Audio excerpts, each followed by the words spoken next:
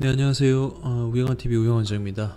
이번에 가져온 주제는 과연 디스크는 언제 수술하면 좋을지에 대한 어, 문헌을 가져왔습니다. 수술 시기에 대해서는 뭐 상당히 뭐 의견, 이견들이 많은데 좀 빨리 하면 좋다. 어, 수술할 필요 없다.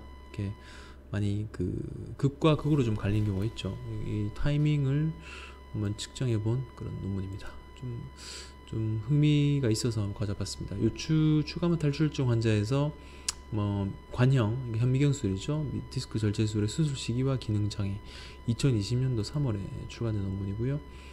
운동 장애 및그 발목이 안 움직이고 방광 장애, 어, 대소변에 문제 있는 경우는 어, 통증이 그리고 견딜 수 없는 경우는 조기 요추 추가만 절제 수술이 도움이 된다고 돼 있고 어, 응급 적응증이 없는 같은 경우는 증거 기반에서 수술 시기를 결정하는데 좀 어렵다. 그래서 자발적으로 해결될 가능성이 높기 때문에 보통 6에서 8주, 한두 달 정도는 대기 시간 설정하는데 더 긴 그 대기 시간이 좀 나은지 어떤지에 대해서는 여전히 불가, 불분명하죠. 그래서 연구 목적이 어, 절제술 후 이 기간 자체가 기능적 결과에 영향 미치는 영향을 평가하고 언제 하면 제일 좋을지에 대한 그 보통 평균 값을 좀 찾고자 논문을 이제 작성하였습니다. 어, 1주에서 14.5년까지 엄청 많은 기간으로 했고 평균 50주 50주면은 거의 1년 가까이 되는 거죠.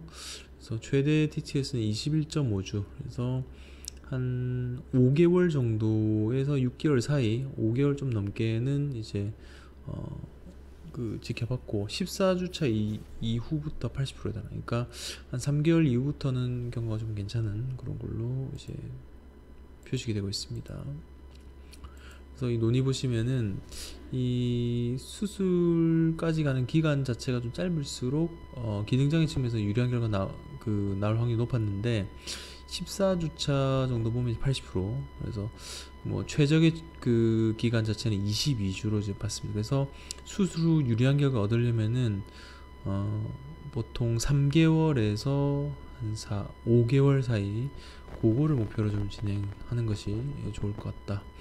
그리고 이 이후에 수술하면 성공 가능성이 좀 낮다. 그래서 최대 5주 정도 이렇게 너무 오랫동안 좀 지켜보면 좀 문제 생기고 그렇다고 또 빨리 할 정 하는 거는 좀 추천하지 않고 있습니다. 그래서 증상 기간이 길수록 결과가 더 나빠질 수 있는데 그래서 이런 경우는 어쨌건 환자가 좀 더 빨리 좀 더 일찍 수술하게 되면 개선이 되죠.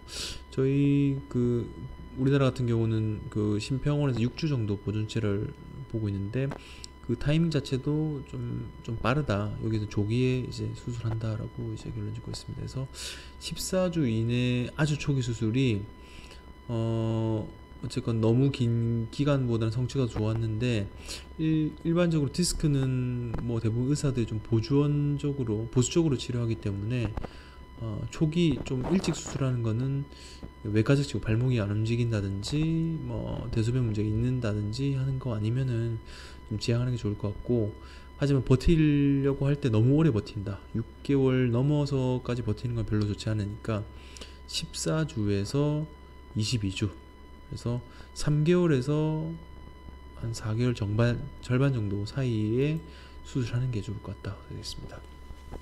그러니까 외래에서도 보통 1년 전간 버티다 오시는 분도 있거든요. 그런 경우는 경과가 많이 어, 좋지 않고 그만큼 신경이 많이 이제 어, 다치게 되는 거죠. 그래서 이 결론은 초기 절제술을 받은 환자가 일반적으로 수술 후 1년 후에 기능 손상 측면에서 어, 더 나은 개선 관련 있고 어, 최적의 기간은 보통 14에서 22주.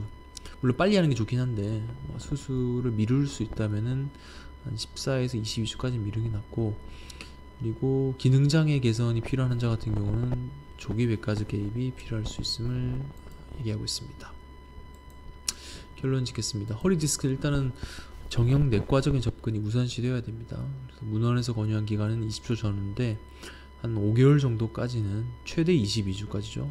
버틸 수 있고 6주는 심평원기가 심평원에서 이제 측정한 기간인데 요거 지나고도 호전 보이면은 좀 지켜보는 것도 방법이에요. 6에서 3개월까지는 좀 지켜보는 게 나을 것 같고 다만 이제 다른 증상이 더 악화되는 게, 게 보인다. 발목이 갑자기 안 움직여지고 대소변 문제가 생긴다면은 좀 빨리 해야 되는 거가 정답입니다. 정확하게 측정된 바는 없지만 보통 이런 가이드라인을 제시하면은 환자분도 좀 타이밍을 잡기 좀 좋을 것 같고 의사도 어, 그거에 대해서 가이드라인을 그 가질 수 있기 때문에 치료에 조금 더 어, 용이한 부분이 있을 것 같습니다. 도움이 좀 되셨으면 좋겠습니다. 시청해주셔서 감사하고 어, 우영아 TV 좋아요와 구독 알림 설정 부탁드리겠습니다. 감사합니다.